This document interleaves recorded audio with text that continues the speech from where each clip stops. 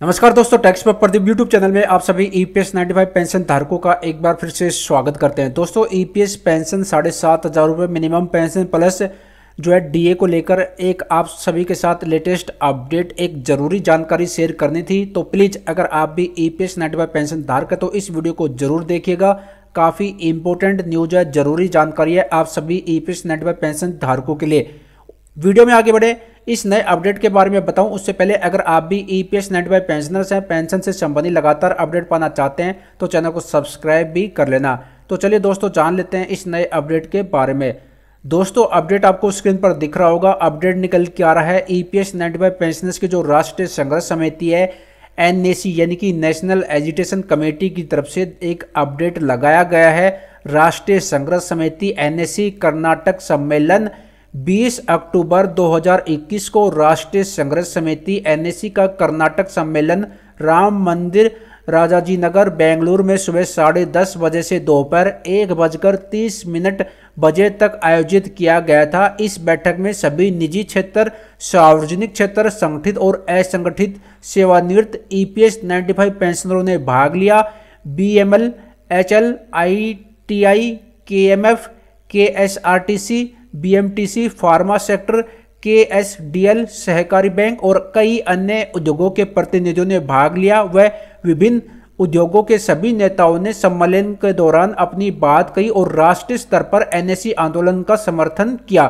कुल 1200 से अधिक सदस्यों ने सम्मेलन में भाग लिया। श्री एस नागराज उपाध्यक्ष ने सम्मेलन का स्वागत किया। श्री रमाकांत नरगुड़, मुख्य समन्वय दक्षिण भारत ने संक्षिप्त में एनएससी के इतिहास व एनएससी संगठन का परिचय दिया। एनएससी के राष्ट्रीय अध्यक्ष कमांडर अशोक रावत जी ने सभा को संबोधित किया और आज की स्थिति के बारे में बताया। साथ ही केंद्र शासन का ध्यान आकर्षित किया कि सभी ई ईपीएस 95 पेंशनों को न्यूनतम यानी कि मिनिमम पेंशन साढ़े सात हज़ार रुपए, सात हज़ार पाँच सौ प्लस डीए, उच्च पेंशन के लिए विकल्प और 100 परसेंट चिकित्सा लाभ प्राप्त करने में सबसे महत्वपूर्ण है। विधवा को 100 परसेंट पेंशन और पाँच हज़ार रुपये की पेंशन उन्हें प्रदान की जाए, जो ईपीएस 95 योजना में शामिल होने से चूक गए हैं।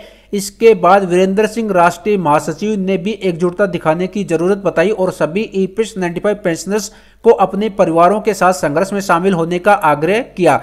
श्री पी एन पाटिल, राष्ट्रीय सलाहकार एनएससी ने भी संगठन के महत्व के बारे में बताया और जागरूकता बढ़ाने के लिए इसे संगठन को तहसील स्तर तक ले जाने के बारे में बताया। 31 अक्टूबर 2021 से पहले अच्छी खबर सुनने की उम्मीद भी उन्होंने रखी। तो यहाँ पर देख सकते हो, उन्होंने बताया कि 31 अक्टूबर 2021 से पहले अच्छी खबर सुनने की उम्मीद भी रखी है। शायद हो सकता है कि 31 अक्टूबर 2021 से पहले अच्छी खबर आ जाए। सरकार ले ले ले ईपीएस 95 पेंशन बढ़ोतरी को लेकर।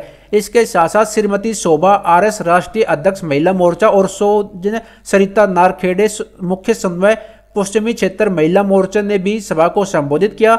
श्री बी एस नरखेड़े उप कोषाध्यक्ष एनएससी मुख्यालय बुल्डाना भी सम्मेलन में मौजूद रहे। श्री के पी मंडाली ने सभी के प्रति धन्यवाद व्यक्त किया और यहाँ पर जो जानकारी सेव इंग्लिश में यहाँ पर बताया है, इंग्लिश और हिंदी में दोनों जानकारी शेयर करी है। तो चलिए मैं आपको जो है, जो मीटिंग हुई है, जो सम्मेलन हुआ है, उसकी फ़ोटो भी आपको मैं दिखा देता हूँ। तो दोस्तों, जो सम्मेलन हुआ है, उसकी आपको जो है यहाँ पर वीडियो क्लिप दिख रही होगी। राष्ट्रीय संघर्ष समिति एनएससी कर्नाटक सम्मेलन की। यहाँ पर देख सकते हो, और यहाँ पर काफ़ी जो इम्पोर्टेंट बात वो ये है कि माननीय कमांडर अशोक राव जी यहाँ पर आए थे और बताया कि ईपीएस 95 पेंशनर्स की जो राष्ट्रीय संघर्ष समिति है एनएससी लगातार प्रयास कर रही है ईपीएस 95 पेंशन बढ़ोतरी को लेकर। और इसके साथ साथ जो है 31 अक्टूबर 2021 से पहले शायद हो सकता है कि जो है एक अच्छी गुड न्यूज़ मिल सके पेंशन बढ़ोतरी को लेकर। बाकी प्रयास जारी हैं ईपीएस 95 पेंशन बढ़ोतरी को लेकर सरकार को जल्द से जल्द निर्णय लेना चाहिए। आपके हिसाब से जो है ईपीएस 95 मिनिमम पेंशन कितनी होनी चाहिए? कमेंट बॉक्स में कमेंट करके ज़रूर बताना। ये एक नया अपडेट था। जल्द मिलते हैं नए अपडेट के साथ। जल्द।